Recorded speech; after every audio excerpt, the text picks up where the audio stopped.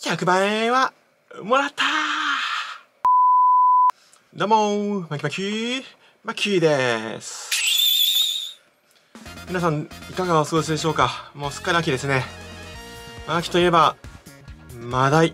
ということでこれからマダイのシーズンということでですね、えー、実はですねアングラーズさんという会社主催でアングラーズドリームカップマダイという、えー、トーナメントが開催されているということでこちらがですね10月1日から11月30日まで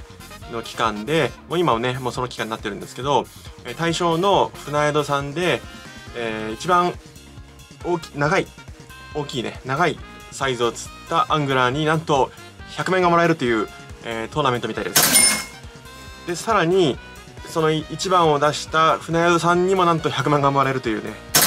えー、企画をやってるってことなので、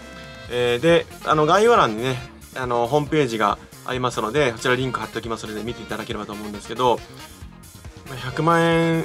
もらえる可能性があるということでで、まあ、対象釣り船というところをクリックするとその対象の遊漁船さんの一覧が出てきます。ででやっぱり見る限り九州の遊漁船さん多いですね。僕が行く東海北陸近畿とか見るとほとんど、えー、エントリーされてる対象の遊漁船さんが少ないので、えー、ぜひね、えー、この動画を見た遊漁船の船長さんも多分エントリーしていただけると思いますのでね、えー、それで盛り上げていければと思います。あの今はね伊勢湾ジギングバトルとかもやってますけど、まあ、こういう最大サイズとかね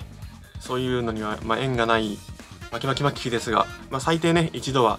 えー、こちらに挑戦してみたいと思ってますので皆さんもぜひね100万円目指してね頑張りましょうではまたどっかの海で See you!